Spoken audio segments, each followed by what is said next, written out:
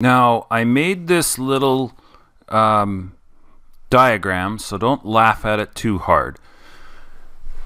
Here you have your isocyanate and your resin. This is the hardening agent, and this is the actual chemistry of the foam that you are paying money for.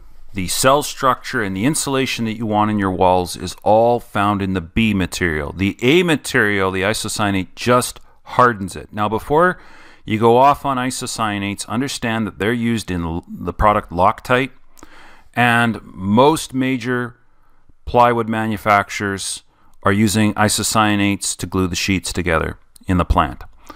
So this product is mixed one to one by volume, equal parts volumetrically of A and B. When they come together, they form heat. Now, normally we put heat into the product to help speed this reaction up, but without adding any heat, if you were to pot mix it or mix it by hand, heat would be formed, and that's exothermic reaction due to the polyols polymerizing and chains of molecules linking up and forming uh, multiple structures, forming the plastic. That heat given off affects a blowing agent that is inside the resin in a liquid state. And it causes a phase change to happen, and it goes from liquid to gas. And as it gases, it's going to puff open and blow open the cells that we want. So that instead of a hard plastic like a truck box coating or an epoxy coating on the floor, instead we're going to have a cellular plastic.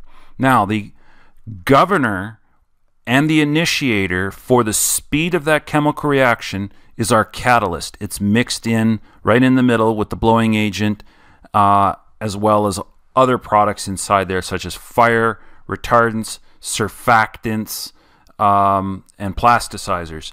So the catalyst, think of it as the gas pedal in your car and the brake. You can either speed the reaction up or you can slow the reaction down and retard it. So the catalyst mediates and governs uh, how quickly it's going to convert from liquid to gas to cell structure. The cell structure is going to be trapped inside the plastic, inside the polyols.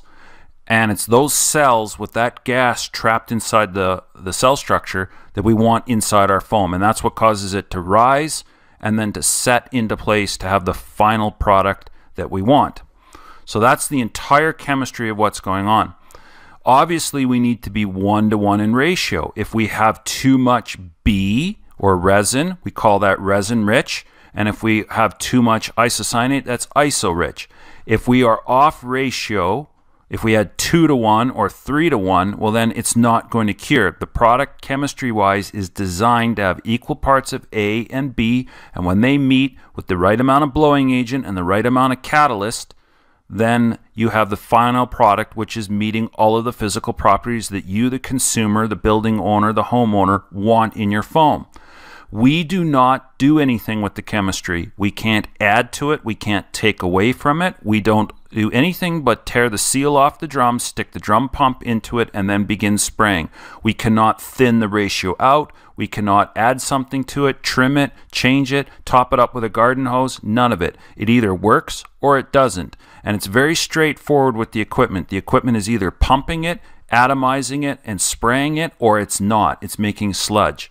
So, if something is off ratio, you're going to have a problem. Or if something happens within the chemistry or the catalyst, then it would affect the cell structure and obviously the potential for these products, none of which you want to consume on your own. You're not going to want to eat or smell or drink blowing agent, or catalyst, these individual components are not edible for consumption. That's a no brainer.